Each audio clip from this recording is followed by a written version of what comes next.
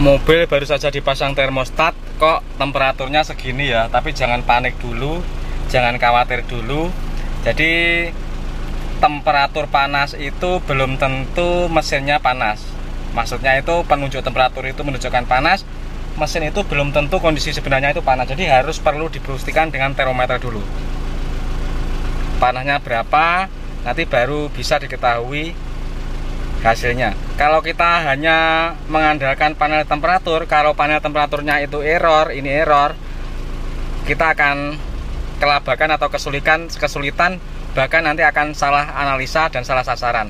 Bisa jadi yang error itu temperaturnya panel temperaturnya kita malah menurunkan silinder head karena mencari panasnya. Dulu saya pernah mengalami teman-teman punya owner kendaraan yang mencari mesinnya itu panas terus ya temperaturnya panas terus dikiranya silinder headnya akhirnya mesinnya itu diturunkan cc silinder head ganti pak head akhirnya malah ganti yang lain-lain ganti liner juga ternyata setelah dipasang itu tetap panas karena ternyata ya seperti ini contohnya ini mesin ini temperaturnya panas di speedometernya kalau kita tidak jeli kita tidak waspada, kita tidak teliti, dikiranya itu yang panas mesinnya, padahal sebenarnya mesinnya nggak panas. Yuk kita buktikan. Pada temperatur mesinnya ini 7 antara 74, 76. Jadi temperatur mesinnya 76. Ini bukanlah temperatur yang overhead, ini adalah hampir mendekati temperatur kerja. Belum begitu panas. Temperatur panas itu kalau sudah di atas 95 itu baru bisa kita katakan itu sudah mendekati panas kalau penter mobil bensin temperaturnya sekitar 95 ya tapi kalau diesel penter itu rata-rata 85 90 itu. Tapi kalau di atas 90 itu baru bisa kita mencari permasalahan yang lain. Misalnya radiatornya buntu kipasnya tidak kencang atau dan sebagainya. Nah ini temperaturnya cuma segini. 81 sekarang 80 jadi masih temperatur kerja ini berarti bukan suatu masalah pada mesinnya. Tapi yang salah adalah indikator temperaturnya. Coba kita matikan ya matikan dulu mesinnya. Nah ini ternyata juga bisa turun ya temperaturnya di sini bisa turun. Kalau kita matikan mesinnya temperaturnya bisa turun. Kita coba cabut switch temperaturnya.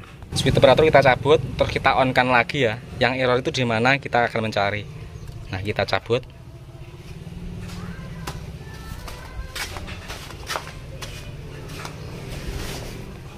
Kita kontak nah ini teman-teman ya.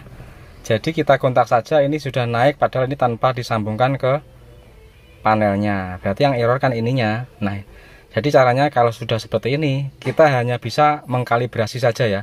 Jadi mengkalibrasi itu kita akan menyesuaikan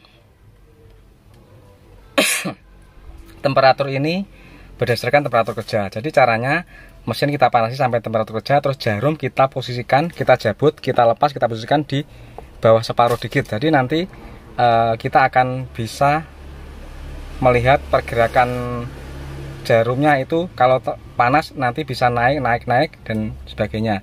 Jadi kalau maksudnya kita kalibrasi itu mesinnya sudah kita panasi sampai ke temperatur kerja ini tadi sudah di 80 berarti kan sudah oke okay ya ini jarumnya kita jabut kita lepas terus kita pasang di eh, bawah separuh nanti tapi sebelumnya ini akan kita jumper dulu ke masa kabelnya apakah ia bisa naik sampai puncaknya apa enggak eh, jarumnya ini. Kalau bisa naik sampai puncak berarti ini panel ini masih bekerja. Ya ini kita shotkan ke masa dulu. Kalau nanti jarumnya bisa naik full ke atas berarti e, panelnya tadi masih bisa disesuaikan sesuai dengan kondisi temperatur mesinnya. Oke kita coba kita kontak wah ternyata bisa naik ya full. Berarti kita tinggal sesuaikan saja. Ini mesin sudah dipanasi temperatur kerja nanti jarumnya kita sesuaikan gitu aja.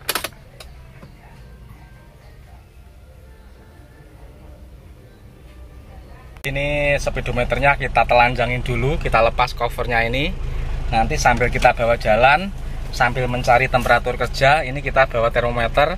Nah kalau nanti temperatur mesin itu sudah berada di 82 atau sekitar 80an ini kita jabut ke lepas kita arahkan ke bawah separuh sedikit gitu ya teman-teman. Sudah kita pakai jalan di penunjuk temperaturnya segini. Nah ini akan kita periksa dengan menggunakan termometer. Temperatur mesinnya itu berapa teman-teman? Nah sebenarnya panas mesin tidak menakutkan ya karena menurut saya ini wajar. Tapi ya tetap perlu kita per, kita buktikan dengan termometer nah ini berarti kan antara 75 ya masih 75an coba ini.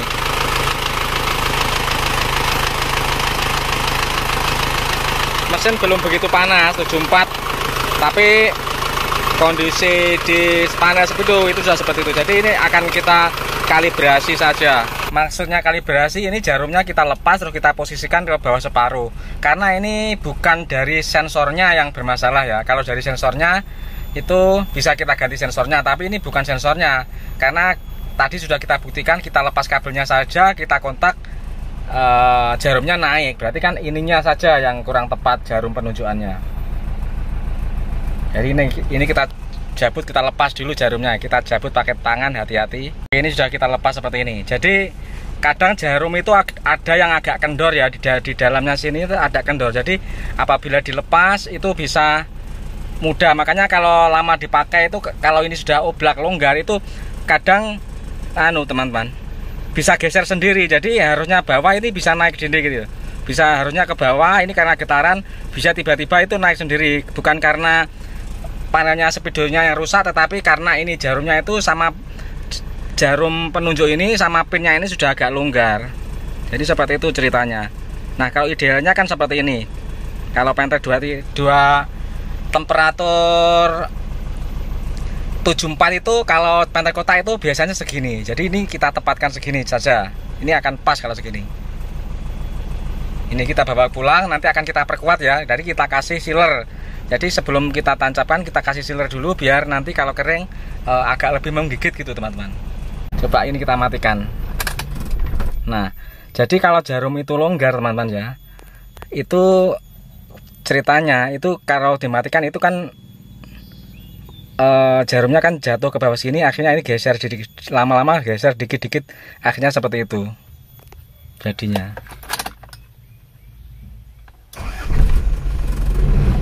Oke, ini akan kita bawa pulang, nanti kita perkuat di sana. Oke, untuk temperatur kita posisikan di posisi ini ya, jadi biar sesuai dengan umumnya penter kotak lainnya. Kalau penter kotak itu emang di bawah separuh ya, tapi kalau penter kapsul itu emang di tengah-tengah. Jadi jangan jangan salah.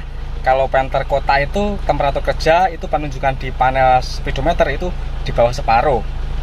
Jadi kalau sudah sepa sudah agak separuh atas itu emang mencurigakan. Tapi tidak untuk penter 25 yang kapsul. Penter 25 yang kapsul itu standarnya itu separuh. Temperatur 80 75 itu separuh. Ini kita bikin segini saja terus kita cek lagi temperaturnya.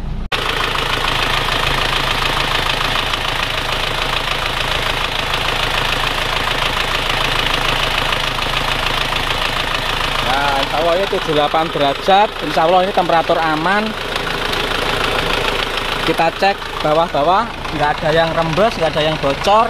Berarti ini sudah siap untuk dipakai lagi jadi permasalahannya ada di panel temperatur tadi yang tidak sinkron sama temperatur sesungguhnya pada mesin ini teman-teman. Sekarang sudah kita perbaiki semoga ini bisa uh, berguna dan bermanfaat. Postingan ini video ini bagi teman-teman semuanya. Amin